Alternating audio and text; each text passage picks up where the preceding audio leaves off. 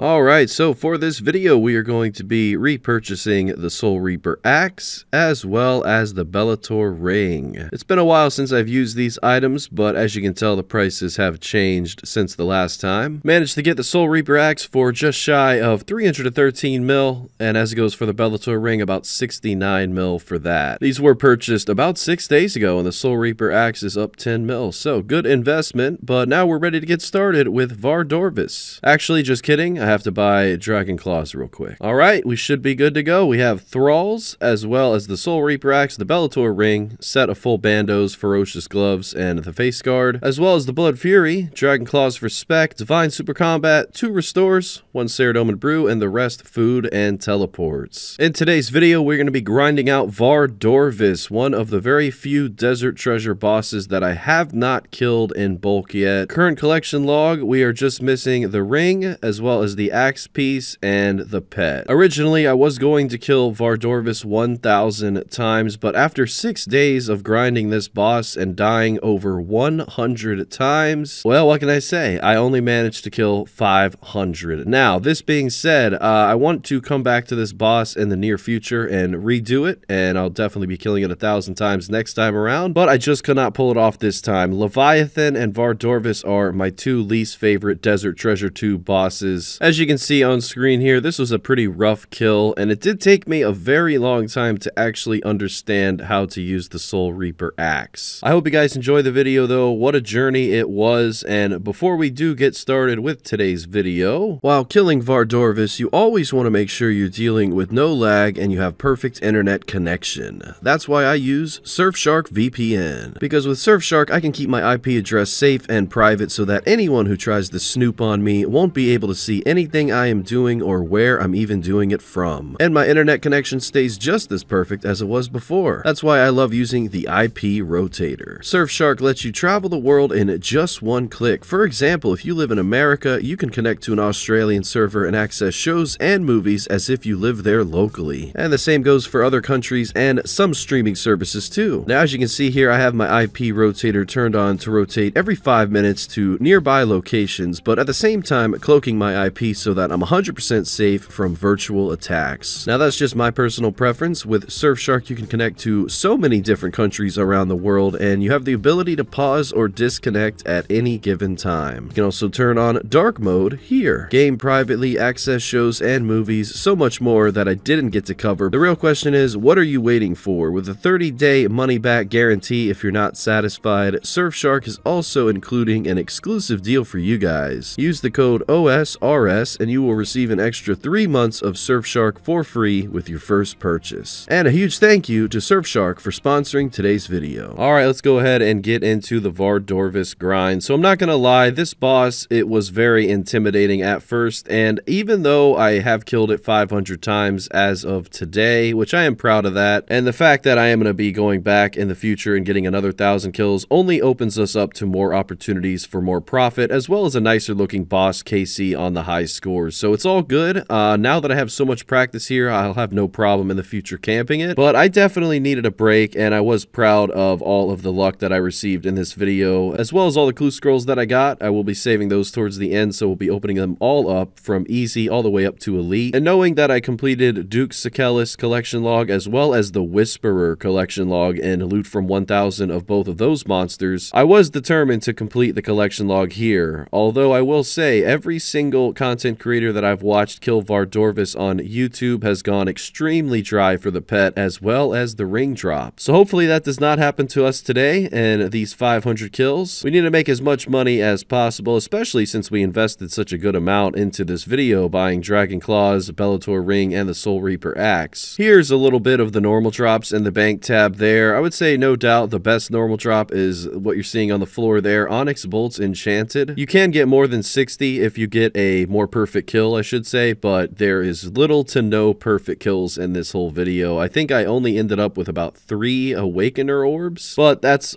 pretty obvious because uh, the fact that I died over a hundred times, which a lot of you may be confused. You know, how do you die a hundred times in the course of just killing a boss 500 times? Well, I guess you could say it's all about learning. Uh, before I walked into this video, I had about 122 kill count, and I think I died around 20 times then, and now as of today, I'm at 101 deaths. So I think I died like 81 times total in this video alone. Keep in mind that it costs 500k coins for every time you die, so that does add up to quite a lot of money. But with that being said, here is 100 kills in. Looks like uh, pretty average loot, no luck yet. 5.2 mil, the highlights being the Dragon at Dart Tips and the Onyx Bolts Enchanted. Raw Sharks aren't too bad either. Sometimes I would even die in my player-owned house, but uh, early on I was using my Soul Reaper Axe special attack way too often. Instead of saving the special attack to maximize the strength of the weapon, I was just unleashing it left and right, uh, trying to stay alive, which is a very amateur mistake. Um, I was still getting some quick kills every now and then, like here's a new personal best of a minute and four. I think my current personal best is 57 seconds. I believe the global personal best for this boss is 35 seconds, so I do have some room to improve, but there's a double death. You don't want that to happen. We lost out on that chromium ingot drop. Just imagine if that would have been an Ultor ring. 170 mil is what that ring is worth. That's the most valuable ring out of all the Desert Treasure 2 rings that came into the game and I would imagine it's the most valuable because it's dropped from, in my opinion, the most challenging of all the Desert Treasure 2 bosses, Vardorvis. So hopefully we get 170 mil richer today, 180 mil, whatever it's selling for. That would be incredible. Probably wouldn't keep that ring, I would just sell it. There's our first Awakener Orb drop. I only managed to get three, as I mentioned before, and one thing that I was not expecting, but I'm so relieved to have gotten, is the Executioner's Axe Head. This now makes my third piece of the Soul Reaper axe and I actually have two pieces from the Duke and one piece from the Whisperer. So if we can actually manage to get a second axe head, we might have the potential to make two Soul Reaper axes in the future, which we can then sell for over 700 mil. Well, of course, that depends on what the price of the axe is at that current time, but either way, 200 kills into today's video. We've gotten the axe head. There's a blood quartz. Those are pretty nice. I don't trade them in for more loot. I just collect them for uh, future wilderness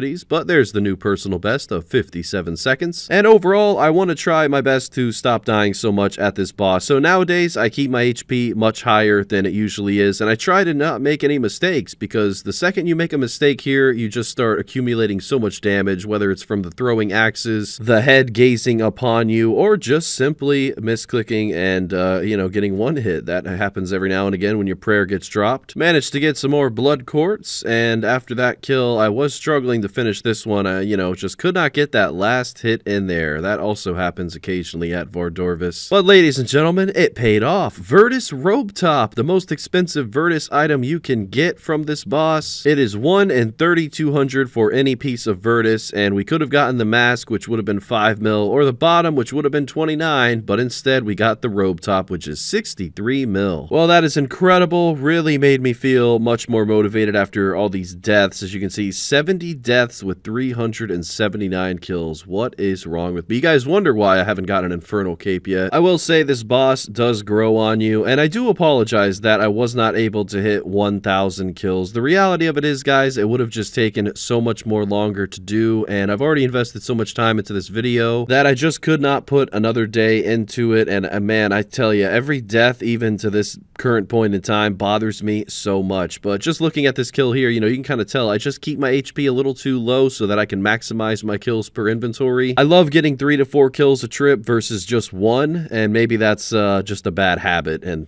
maybe that's what keeps me dying. I'm not sure, but I am getting better, and overall, you know, doing a thousand Whisperer and dying like three times really puts it in perspective as to how challenging this boss was. Well, after completing an elite clue and investing 40 mil into 20 Christmas crackers, probably why my bank's always so low. I just make the worst investments. Uh, yeah, we are still grinding Vardorvis. Managed to pick up another Awakener's Orb, and following the Awakener's Orb, another rare. This time, it's not the best, but it still looks nice on the ground. Virtus Mask. 5.8 mil for this one. You know, I used to say that'll cover the price of a bond, but no, not even half. But uh, needless to say, I will take it. Uh, it's not the robe bottom, but it's okay. It's another uh, unique, and that leads us to more profit. How many deaths we at? Uh, 80. All right, not too bad, you know, we're getting there. Road to 100. One thing I want to mention, uh, since I, you know, showed you guys that two second clip of investing into Christmas crackers. Did you know that Christmas of 2020, I had 10,000 Christmas crackers and I opened them up for a loot video? Just a fun fact. Had I kept those Christmas crackers, I could have sold them all today for 2 mil a piece and I would have had 20 bill. So,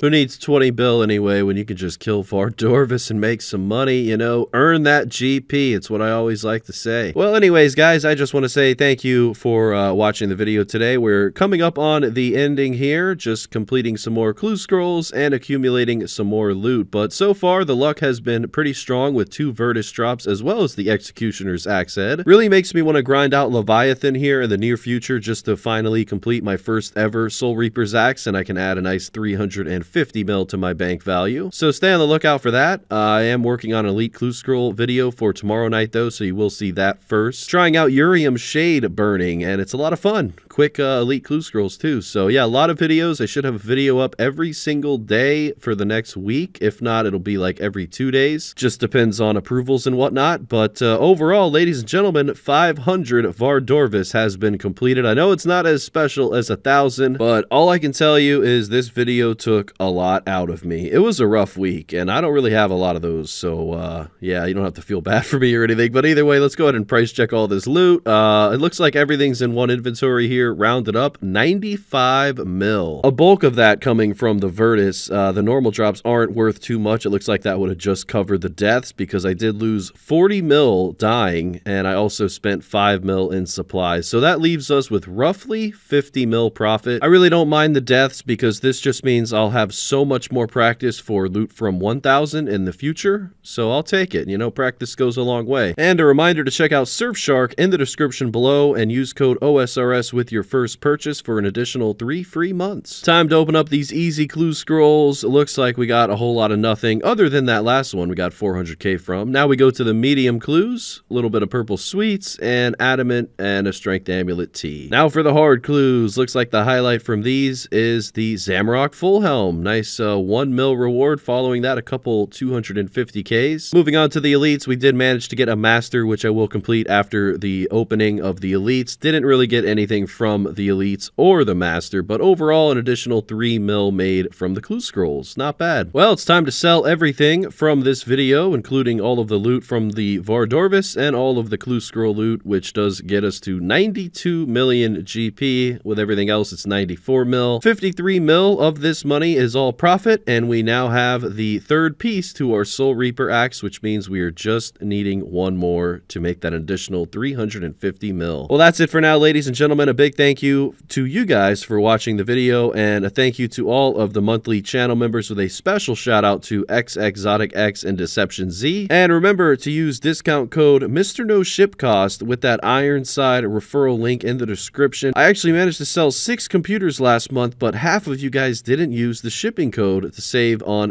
shipping, so keep that in mind. But with that being said, guys, I'll see you tomorrow or the following day with another video related to Elite Clues. Thanks for everything, and until next time, Mr. No Sleep out.